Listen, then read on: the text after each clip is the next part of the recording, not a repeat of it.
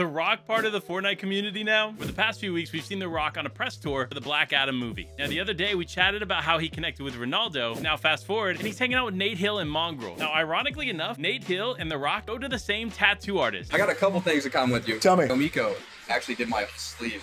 Really? And I saw recently you got yours Yeah, man. For you guys watching, uh, it's our tattoo artist. What are the chances